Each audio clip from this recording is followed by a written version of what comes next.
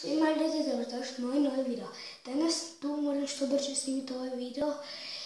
I danas radimo Volar Challenge. Znači ja ću na kraju izazvati tri youtubera koji isto to moraju napraviti. Znači probat ću što u vodi. Tu imam mobitel i štopericu.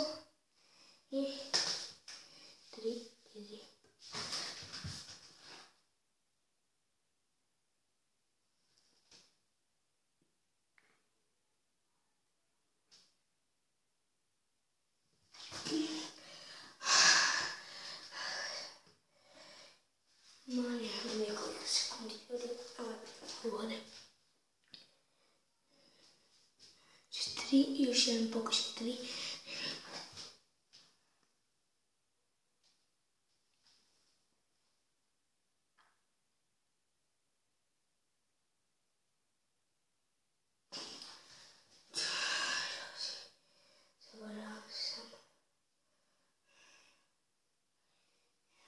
Aqui eu sou moca.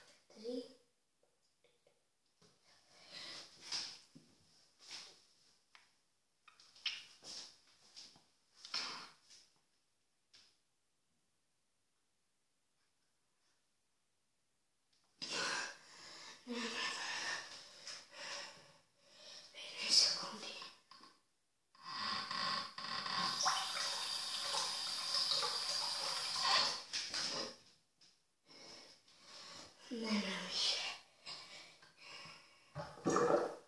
Sad puštamo.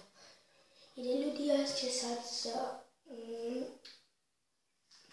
izazvat tri youtubera. Prva je Leonas Place, drugi je Philips Extreme i treći je Iva Rajs. Ako vam se video svidao, ostavite like, share, subscribe.